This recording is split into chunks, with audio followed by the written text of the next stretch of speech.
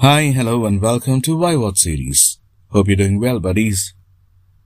We have a great question.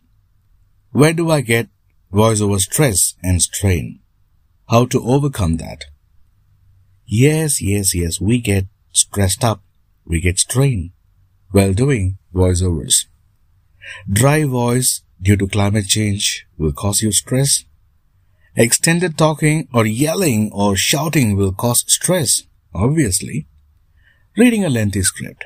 Yes, when you read a lengthy script without a break or even not quenching your thirst, have some water. That would also cause you stress. Feeling a low volume in voice due to hot or cold beverages might be a reason. Loss of vocal range, losing the regular voice flow, something, some kind of disturbance, feeling a thin voice suddenly, or a low pitch maybe due to some foodstuffs that you take. Doing multiple character modulations, maybe when you're doing some animation. Stretching and straining vocal cords in squeezing your voice or squeaking your voice. Sleepless night or late night work could be a reason for stress again. Tension, anxiety will also be a reason. Why tension? Why anxiety? Cool. Bulging vocal cords leads to stress, maybe some kind of nodules, some kind of irritation, some kind of thickening of voice muscles deep inside your vocal cords. That could also be a stress. Throat pain may be a reason. Continuous coughing. You're not well. You're coughing so badly. That could be a stress. Hoarseness. Discomfort in speaking. Grumpy.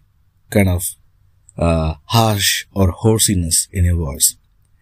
Some kind of tickling sensation, breaking voice, or breathing difficulties. These are all some kind of uh, stress and strain that you might encounter.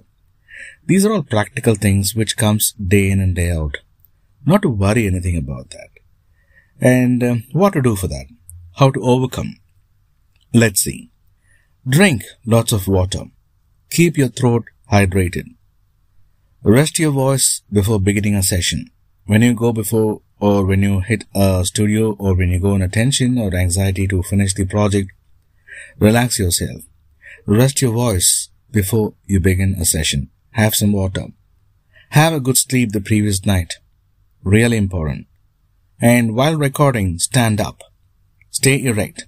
Your posture. Rest your voice before beginning a session, I said and avoid talking aloud or whispering too. Talking aloud and whispering, Hi, how are you? What happened yesterday? Hey, how are you? These two things avoid. So, talking aloud and whispering should be avoided. Avoid too much of alcohol and stop smoking. Yes, the previous night if you had some party and had some alcohol and had heavy smoking, that would also give you a stress and strain the next day.